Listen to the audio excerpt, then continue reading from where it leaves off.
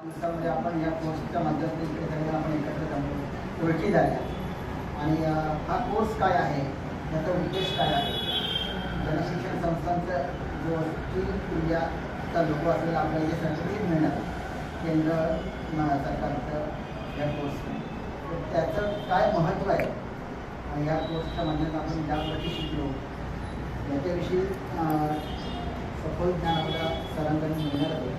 तर तुम्ही त्यांची ओळख करून जॉब थोडीशी जबाबदारी माझ्यावरती तर म्हणजे मला प्रत्येक वेळी असा प्रश्न पडतो की काय करायचं हे त्यांच्याकडे खूपच आहे पण मी अजून काय वेगळं सांगायचं असं मलाच प्रश्न पडतो की त्यांचं कार्य अफाट आहे.